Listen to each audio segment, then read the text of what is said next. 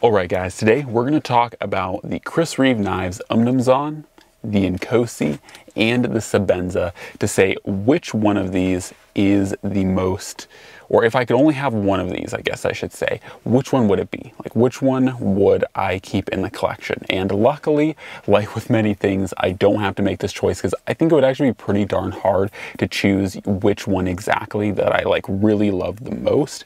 But today I go, or I want to go over the pros and cons of each, and if I could only keep one, which one would it be? So first off, I think we have to talk about the Sebenza. The Sebenza is definitely very high in the rankings for a knife that I would want want to keep in the collection, primarily because the Sebenza not only is a super, super simple and like classic design that just really never gets old. Like this thing looks like it could have been designed yesterday or 20 years ago, which basically it was. Um, so anyways, this knife is such a classic design. And when it's broken in, as you guys can see, the action is just buttery smooth. It's like running on glass. And so it is just such a perfect knife. And like I said, its history, its heritage when it comes to EDC and knives as a whole is such a good, like such a rich history to it. So the Sebenza is a really nice choice, but I don't know if I would make it my number one. Now, on the other hand, and I think like on the complete other spectrum of the Sebenza, you have the Umnumzaan. Now, the Umnumzaan, and this one's also in Tanto, like the Sebenza, but this thing is Chris Reeve's kind of answer or attempt to make the most modern or futuristic design, or at least give a user or someone who would want to use knives the most realistic um, like future design. Like it has the most feature packed uh, list of like, I guess, features in it. So it's the most feature packed knife on the list. And uh, it definitely is that. It delivers well. And of course you have things like there's no stop pin on it. The integral stop pin is like this thumb stud. You have that um, lock bar or over travel stop. You have essentially a lock bar insert given the fact that this has that uh, piece of ceramic that not only works as the detent for the knife but also as the lock face uh, or lock interface. So like this is just jam-packed full of features, even has this little glass breaker on it which is I don't know arguably useful, um, may not really be that useful. But anyways, so you know you have this really feature packed and very futuristic design for Chris Reeve but for me personally, uh, you know, I'm not the largest fan of the Umnumzaan. Like, I still love it, love it over other knives in my collection. And don't me wrong, this is a really cool, I think, very tactical design. Like, even their drop point has like a harpoon to it. So these are very, you know, tactically oriented knives. But I would have to say that I think, honestly, if I could only have one, it would probably have to be the Inkosi. And I naturally, I think I'm a little bit biased to the Inkosi because I love the Sebenza 25. I love the way and the look and the design overall of the Inkosi. And I think that this is like designed to be the spiritual successor to the Sebenza. So it holds over a lot of those timeless kind of classic looks of the Sebenza, but then updates it with, once again, you get that same kind of lock bar insert as you do with the Umnumzaan. You get the, um,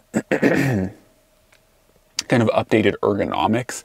So it's a little bit better, it looks a little less plain Jane than something like the Sebenza, but it still has a really, really good overall like design ergonomics and is super usable. And in my opinion too, the biggest thing that I like about the Inkosi, which is very similar to the Sebenza, is this is a type of EDC knife that blends in very well with pretty much any situation. Whether you're wanting to go to a more classy or formal event, you need a knife, you know, for more simple tasks, this is a really good choice for that. I mean, so is the Sebenza, but this can also flex into more rugged roles. So this definitely doesn't feel like, uh, you know, a bad knife for hiking and, you know, doing some basic outdoor stuff. Like obviously you're probably not gonna want a baton a Sebenza or an Inkosi or even an Umnumzaan, but you do have that thicker blade stock. So this is made of a thicker blade stock than the Sebenza. It is the same blade stock as the Umnumzaan. So you're given that little bit better, you know, blade stock there to give you just an added kind of more um,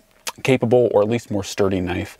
And so that is another really big plus to it. In addition to, it also has like the oversized um, phosphorus bronze washers. So that does help with its smooth opening and closing. So if I had to choose, you know, like one of these knives, um, of the three, it would probably have to be the Inkosi because while there are definitely meritable features to the Sebenza, and there's definitely reasons why I have the Sebenza, like for me, as I've talked about in other videos, the Sebenza is very important to me because it's a really cool knife that like growing up in the knife world, growing up in like knife life, you know, um, it was one of those blades that uh, you know, it was what like all the the serious like knife tubers talked about. Like if you are getting into knives, you need a Sebenza, right? Like that is the gold standard. And still to this day, honestly, I think the gold standard very much could be either the Inkosi, the Sebenza. Um, very much they have such solid ergonomics, such on point. Um, like features and just overall a timeless design. So if I had to choose a number two, it probably still would be the Sebenza just because of its history and my mindset to it. But uh, that does not mean that the Umnumzaan is a bad knife. Like honestly, I like all these. This is actually my EDC for today, the Umnumzaan. So I really like it. But at the same time too, these two classic Sebenzas, or sorry, Sebenza and Inkosi, uh, even though it was a Sebenza 25, are just super hard to beat. And uh, like I said, I would definitely have to choose the Inkosi. Anyways, guys, hopefully you enjoyed the video. As always, God bless, and I'm out.